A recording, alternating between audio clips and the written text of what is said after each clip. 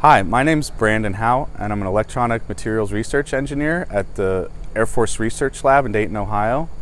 I first became involved in AVS in 2006 and was drawn to their educational outreach activities and programs. When I went back to school after attending the AVS symposium, I started up a student chapter there and we built demonstrations to put on display at uh, different science fairs that we had at University of Illinois. And then through these interactions with AVS, became the student chapters chair and started attending the board of directors meetings and engaging with um, you know these very senior level people that are um,